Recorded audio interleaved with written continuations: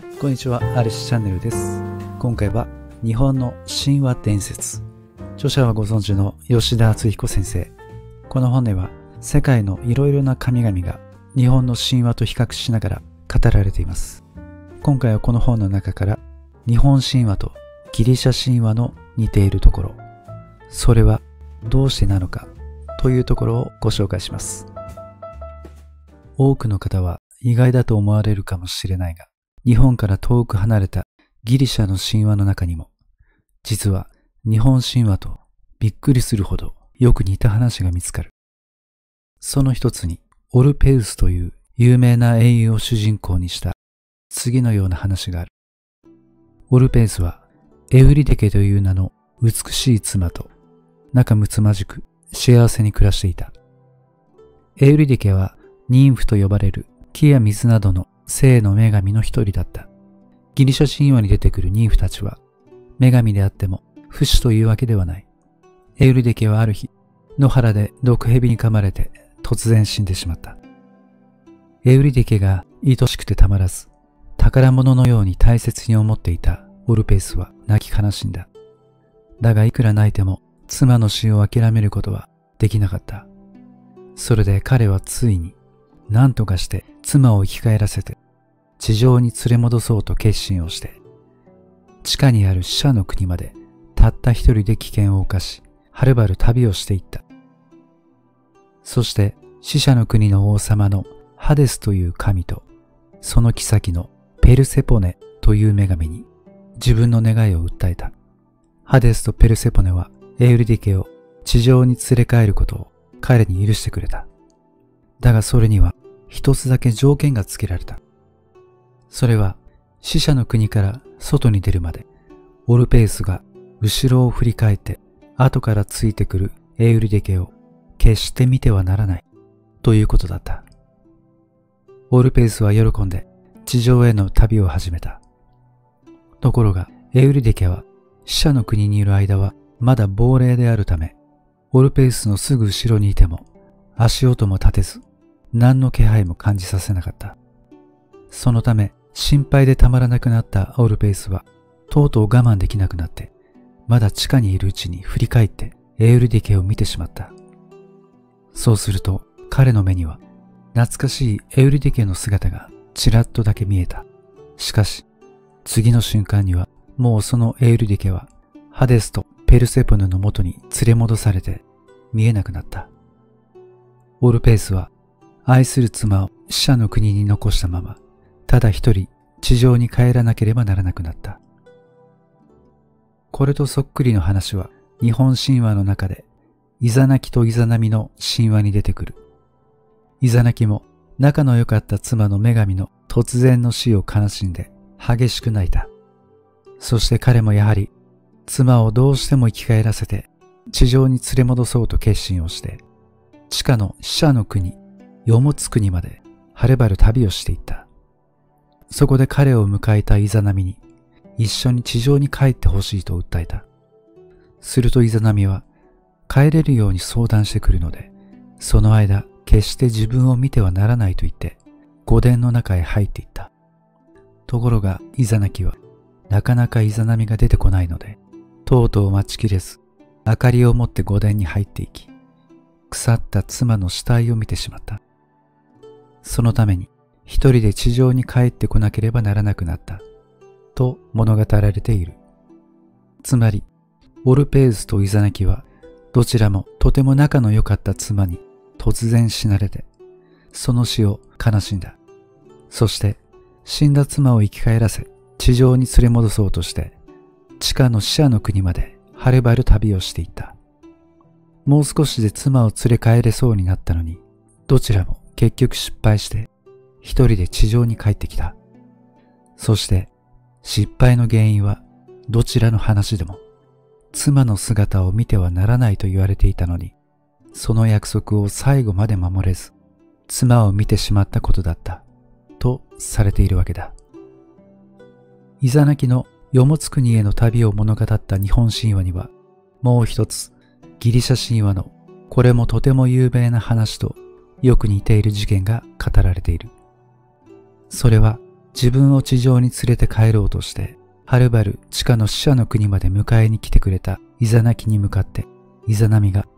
黄泉の国の食べ物を食べてしまったことを、とても残念がったという話だ。つまりこの神話では、もしこの時までに、よもつ国の食べ物さえ食べていなかったら、イザナミは、イザナキと一緒に何の問題もなく、すぐ地上に帰れるはずだったことになっているわけだ。これとよく似た話は、ギリシャ神話で死者の国の女王、ペルセポネを主人公にする神話の中に出てくる。ペルセポネはデメテルという農業の女神の大切な一人娘で、元は母親と一緒に仲良く地上で暮らしていた。ある時、野原で花を摘んでいると、突然地面が裂けて、死者の国の王、ハデスが黄金の馬車に乗って飛び出してきた。そして、ペルセポネを捕らえて自分の妻にするため、地下の世界へさらっていってしまった。そのことを知ったデメテルは胸が張り裂けるほど悲しみ、他の神様たちの付き合いをやめてしまった。そしてエレウシスという町へやってきて、自分のために神殿を建てさせ、その中に閉じこもってしまったので、それ以来大地から作物が生えなくなってしまった。人間はひどい上に苦しみ、神々もすっかり困ってしまった。そこで神々の王のゼウスはヘルメスという神をハデスのところに行かせた。そしてデメテルの怒りをなだめるためにペルセポネをデメテルに返せという命令をハデスに伝えさせた。ハデスは仕方なくこれを承知した。だが、ペルセポネを送り出す前に彼は、喜んでついほころんだペルセポネの口の中にザクロの実を押し込んで食べさせた。そのため死者の国の食べ物を口にしたペルセポネは、もう死者の国との縁を断ち切ることができなくなってしまった。一旦は母の元に戻されたが、また地下に来てハデスと結婚し、死者の国の女王にならなければならなかったのだという。このように、イザナミとペルセポネはどちらも地上で幸福に暮らしていた。ところが、どちらも地下の死者の国に来て、そこで食べ物を食べてしまった。そのためどちらも地上に連れ戻そうとして、せっかく迎えに来てくれた神がいたのに、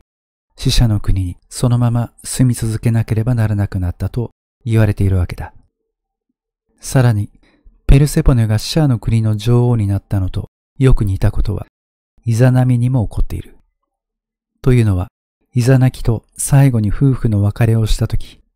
彼女は、これから私は毎日地上に住む人間を千人ずつ死なせることにします。と宣言したのだ。それで、世もつ国を支配する女神になったと言われているからだ。さらにさらに、ペルセポネとデメテルを主人公とするこのギリシャ神話の中には、他にもまだ日本神話とよく似たところのある話がいろいろ見つかる。まず、ペルセポネをハデスが地下にさらっていったことを怒ったデメテルが、神々との付き合いをやめて神殿に閉じこもり、食べ物も飲み物も一切口に入れようとはしなかった。それを見た一人の女が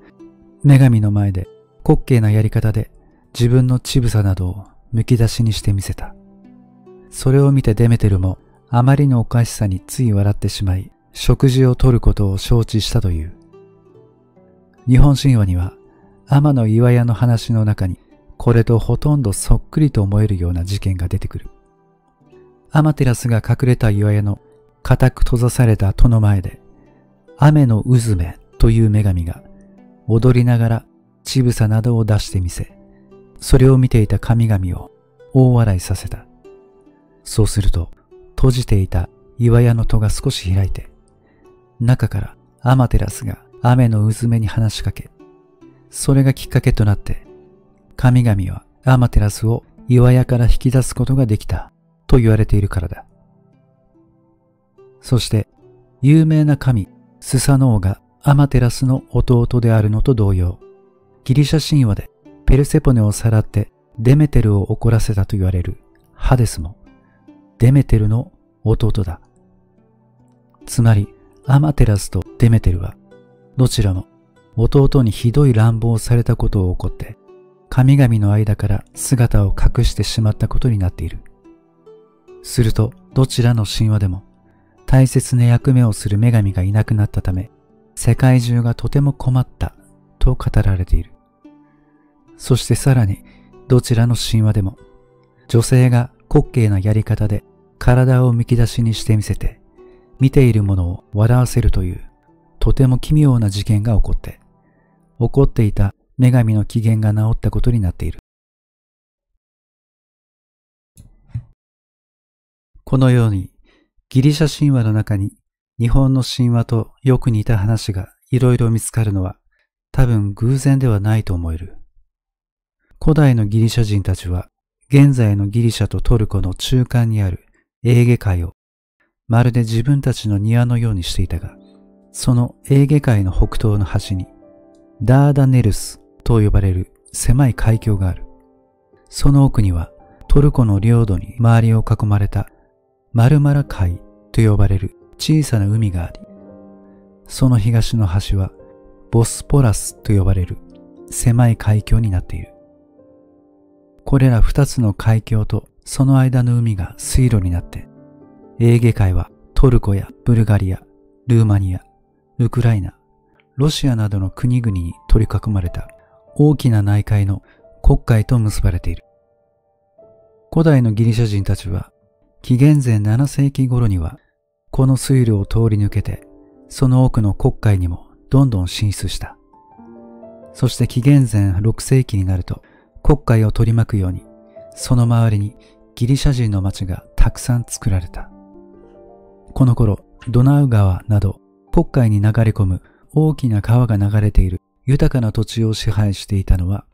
シベリアの南の草原から移り住んできたと思われるスキタイ人と呼ばれる人たちだった。このスキタイ人は馬に乗ることと弓を射ることがとても上手で、戦いにとても強かった。一箇所に住み着くことをせず、馬や羊などの群れを連れて、牧草のあるところへ移動しながら暮らす、遊牧の生活をしていた。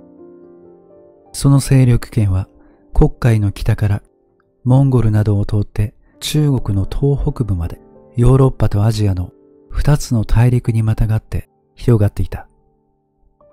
その東の端は朝鮮半島の付け根まで届いている。この広い草原に住む人たちはみんながスキタイ人の文化の強い影響を受け、彼らと同じように馬に乗り、戦争や狩りをすることを得意として、遊牧の暮らしをする騎馬遊牧民族になっていた。そして時代は下って、日本の古墳時代にあたる4世紀から7世紀頃、朝鮮半島には、高栗と百済、そして白木という3つの国が栄えていた。このうちの高栗と百済は、スキタイ人の文化の強い影響を受けていた騎馬遊牧民族の人たちが中国の東北部から入り込んで建てた国だった。つまり古事記や日本書紀に神話が書かれた少し前の時代に、日本の隣の朝鮮半島は、スキタイ人の文化の強い影響を受けていたのだ。そのスキタイ人は、国会の岸にあったギリシャ人の町からギリシャの品物をたくさん買って、ギリシャ文化の強い影響を受けていたことが知られている。スキタイの王たちが喜んで買い求めたギリシャの品物の中には、ギリシャ神話の有名な物語や神様などを書いた品々が数多くあったことが、それらの王たちの墓から発掘されている。あなたも知っている通り、古墳時代に日本は朝鮮半島とのつながりが深く、半島から新しい知識や技術を持った人たちが移り住んできて、朝廷からも重んじられ、いろいろな方面で活躍をしていた。そして当時の朝鮮半島はスキタイ人の文化の影響が持ち込まれていたのだ。このスキタイ人の文化は古代ギリシャ人の文化から強い影響を受けていた。だから、朝鮮半島からスキタイ人の文化の影響と一緒に、ギリシャ神話からの影響も古墳時代の日本に伝えられていたのではないかと思われる。そう考えれば、ギリシャ神話の中に日本の神話とよく似た話がいろいろ見つかっても不思議ではなくなるわけだ。しかし、スキタイ人の文化は本当にそんなに強い影響を日本の神話に与えたのだろうか。そのことを確かめるためには、スキタイ人たちが持っていた神話を日本の神話と比べてみなければならない。だが、残念ながら口で言うほど簡単ではない。なぜなら、スキタイ人は文字を使わなかった。彼らは神話を何一つ書き残していないのだ。では私たちはスキタイ人の神話を何も知ることができないのかといえば、そうでもない。古代ギリシャの有名な歴史家だったヘロドトスが書いた本の中に、短いが重要と思える神話が一つ紹介されている。それは次のような話だ。スキタイ人の祖先はタルギタオスという名の人物で、天上の最高神であるパパイオスという神とドニエプル川の神の娘だった女神との結婚から生まれた。このタルギタオスには息子が三人いたが、その息子たちのところに、ある時、天からどれも眩しい黄金でできた三つの宝物が降りてきた。その一つは、牛につける首輝と、それにつけて畑を耕す透きとが一緒になった農具で、一つは戦争に使う武器の斧で、一つは杯だった。農具と斧と杯。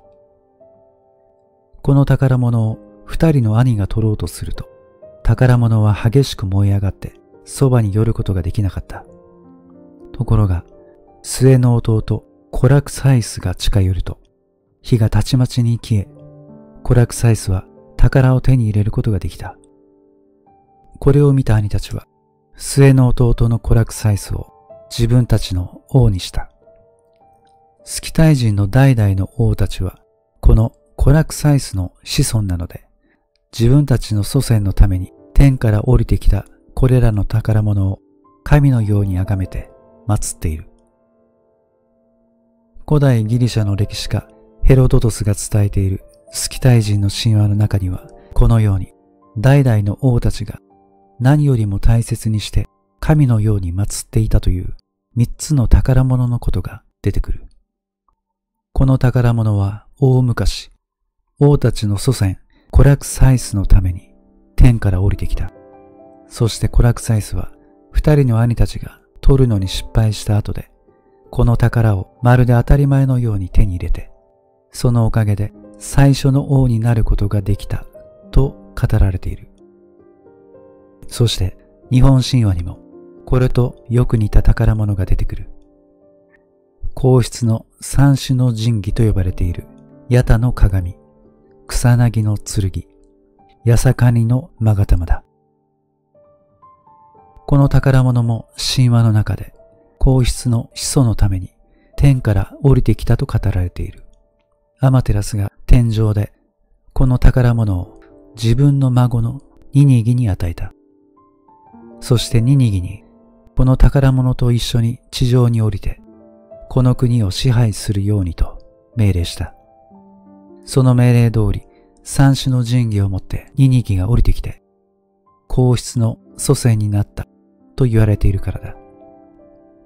三種の神器は皇室にとって大切な宝物で八田の鏡は伊勢神宮、草薙の剣は熱田神宮でご神体として祀られている。この点でも三種の神器はスキタイ人の王様の三つの宝物が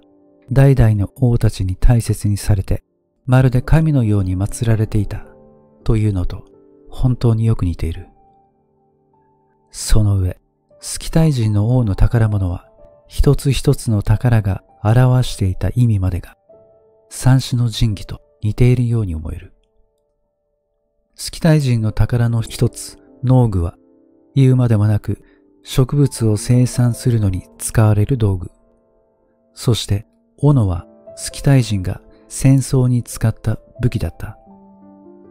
杯はスキタイ人の間では神を祀るための儀式に欠かすことのできないものだった。スキタイ人たちの間では、ハオマと呼ばれる飲み物を神に備えたり飲んだりすることが祭りの大切な儀式なのだ。つまり、スキタイ人の王の宝物は、それぞれ食物の生産、戦い、宗教という、どれも人間社会に必要な三つの仕事を表していたのだ。一方日本神話では、三種の神器をニニギに与えたとき、アマテラスは、ヤタの鏡のことを私の魂だと思ってよく祭りなさいと言っている。草薙の剣は武器で、もちろん戦争を表す。また、勾玉については、古事記の中に、ミクラタナという名の神だと書かれている。タナというのは古い言葉で、稲の種のことだ。つまり勾玉は神話の中で、蔵に入れられる稲の種の神様だと言われているのだ。日本神話の三種の神器はこのように、鏡は宗教、剣は戦争、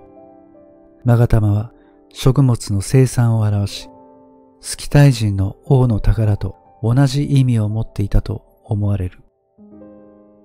また、スキタイ人や日本神話の三つの宝とよく似た意味を持っていると思える宝のことは、